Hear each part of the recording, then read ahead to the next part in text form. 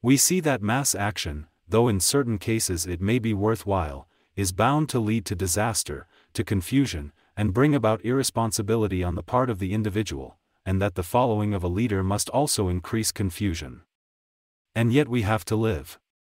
To live, is to act, to be, is to be related.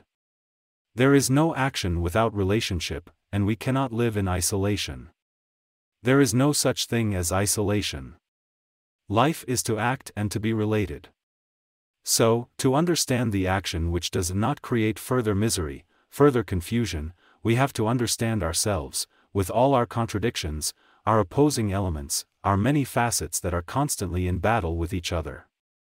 Till we understand ourselves, action must inevitably lead to further conflict, to further misery. So, our problem is to act with understanding, and that understanding can come about only through self knowledge.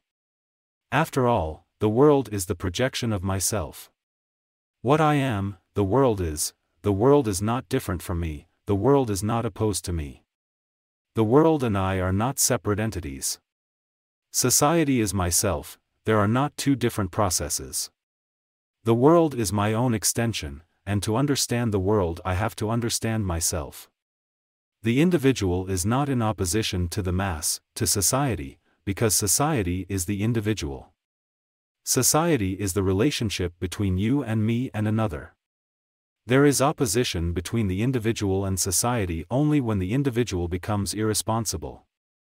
So, our problem is considerable. There is an extraordinary crisis which faces every country, every person, every group. What relationship have we, you and I, to that crisis, and how shall we act? Where shall we begin so as to bring about a transformation? As I said, if we look to the mass, there is no way out, because the mass implies a leader, and the mass is always exploited by the politician, the priest, and the expert. And since you and I make up the mass, we have to assume the responsibility for our own action, that is, we have to understand our own nature, we have to understand ourselves. To understand ourselves is not to withdraw from the world. Because to withdraw implies isolation, and we cannot live in isolation. So, we have to understand action in relationship, and that understanding depends on awareness of our own conflicting and contradictory nature. I think it is foolish to conceive of a state in which there is peace and to which we can look.